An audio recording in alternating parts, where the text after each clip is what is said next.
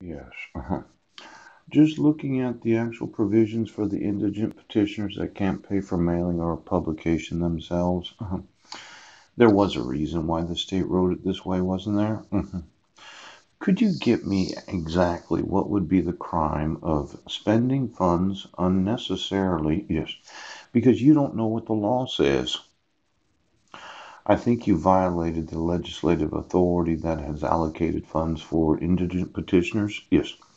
And I just want to know how many indigent petitioners are out there that the county decided, well, we're going to pay $65 every time they go out to serve a temporary protection order. Yes.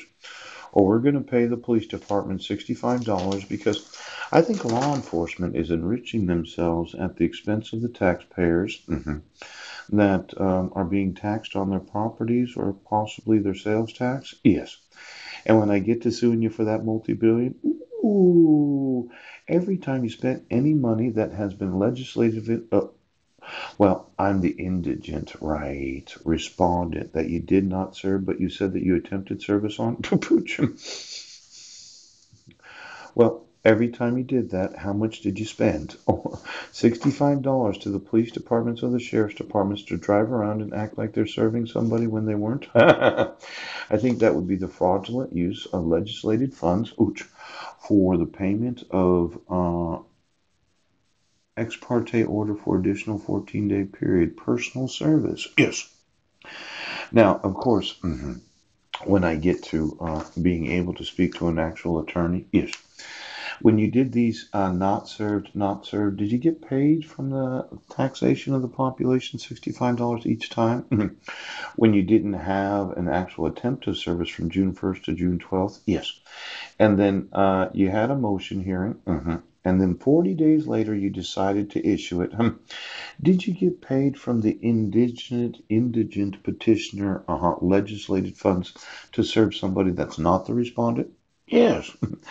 Now that's going to be the multi-billion dollar question. Because I'm absolutely fucking sure that if the taxpayer paid the police department, you have been embezzling funds out of legislated authorities uh-huh, that has allocated funds for service uh, for indigent petitioners. Ooch those patrol cars that you were paying for. Ooh, did you decide to drive around and not serve people and say you attempted to? Oh, oh. Could you get me the actual amount mm-hmm, of the service fees? Yes, that uh, the police and sheriff's departments have gotten paid. Yes, for the last 20 years from judiciaries uh, for each and every proof of service. Ooch, and then each time that you attempted service and you did not serve the individual.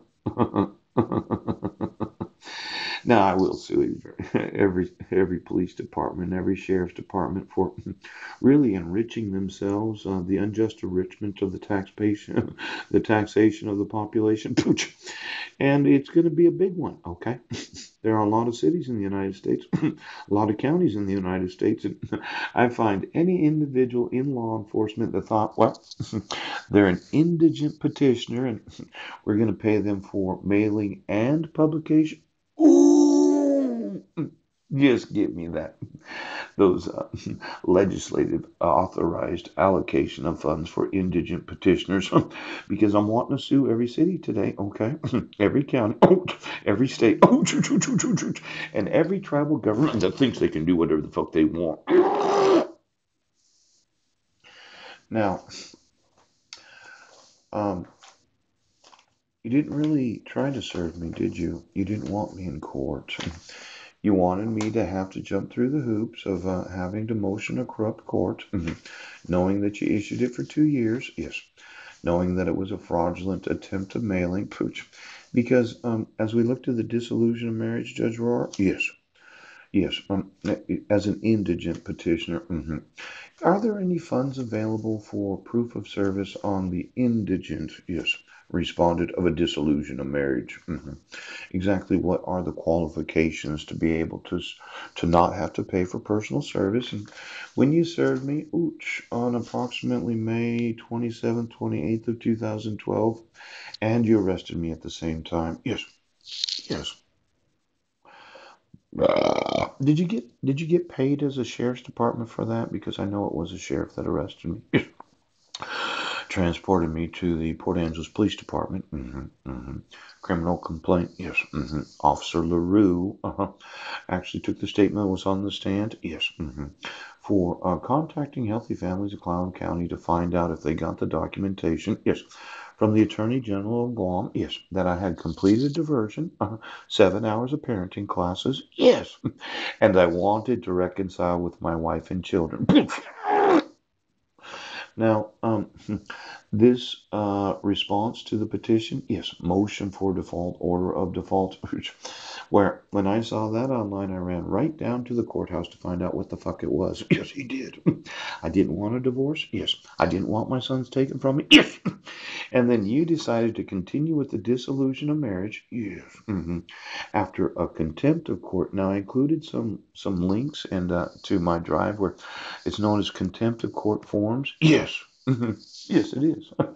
now, I didn't fill one of those out because I didn't know about contempt of court in 2012. and since I've had all these personal experiences, yes, I felt reluctant to actually motion the court to do a fucking thing considering what you've done. Yes.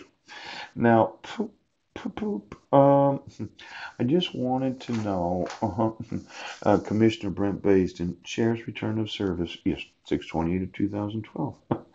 um, who paid for that? Mm-hmm. Uh, every one of these, oh, oh, oh, well, I know you have to protect the petitioner, but the truth of the matter is, I've never done anything criminal, mm-hmm.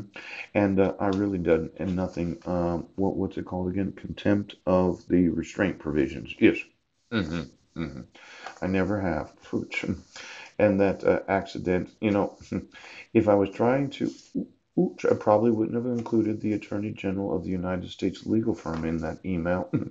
you can't say it's cyber stalking when it really doesn't address the person. Not like Heidi has every IP address everywhere in the world. No, she doesn't. Hmm. It would have had to say something to the effect of, I'm your husband and you have to come back to me and you have to fuck my brains out and suck my dick for the next 10 years. and I never sent an email like that, I'm sure of it. now, I just wanted to know, okay, because that would be lewd and lascivious, wouldn't it? Yes, it would. Did somebody use my email addresses without my knowledge? Did the. Mm-hmm. Now I noticed she didn't sign this. Yes. And she didn't sign that. Yes. And this signature is not the same as that signature. Yes. and that I didn't receive actual notice of the hearing. Yes. and there was uh, no personal service, service by mail, or service by publication. when you decided to use the legislated funds for the publication and mailing, yes. What was the reluctance on the part of the court to not allocate those same funds to do the same thing?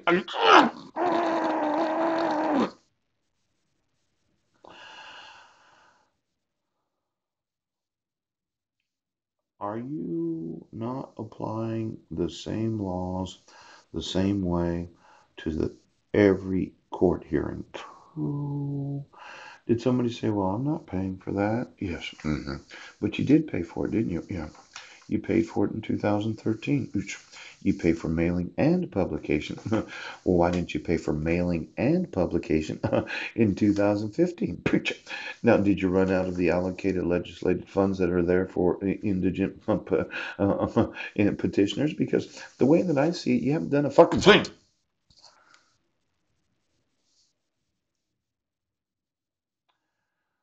You have not consistently applied the laws of Washington state as they pertain to the use of the taxpayers' funds.